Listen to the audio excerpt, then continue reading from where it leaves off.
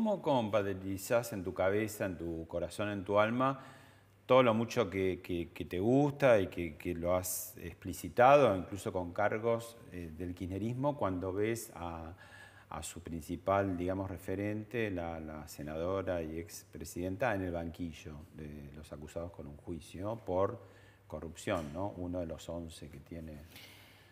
Bueno, personalmente, tengo la suerte de, conocerla personalmente. Eh, sé que ella está cumpliendo con cosas que sabía que le podían ocurrir, que son propias de la diferencia de determinada parte del pueblo con el, jefe de Estado. Y eh, nunca he visto una persona más resuelta que diga, que hable, que cuente, ¿no? como, como lo hace Cristina. Me parece particularmente, naturalmente, más que extraordinaria. No solo por lo que dice, sino cómo lo dice, cómo lo expresa, y sobre todo en estos tiempos donde ha decidido muchas cosas eh, siempre en favor del pueblo. Ella decide en favor del pueblo. Poco se ha visto eso.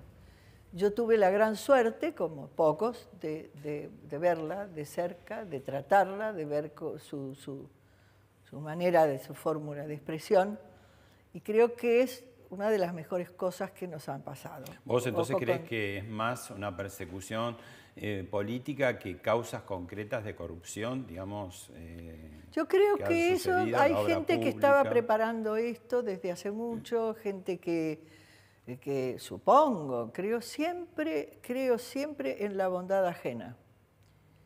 Eh, no creo que la maldad cuando ocurre sea gratuita, es decir, no me interesa.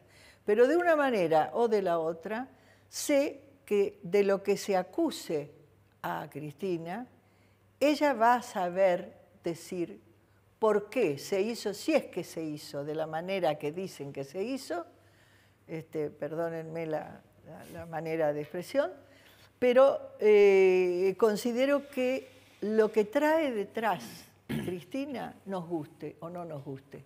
Porque eso, no, eso hay que decirlo, nos guste o no nos guste, lo que trae detrás Cristina siempre es la verdad. Como la verdad pocas veces nos gusta que nos la digan y que nos la digan enfrente, por eso tiene los enemigos que tiene.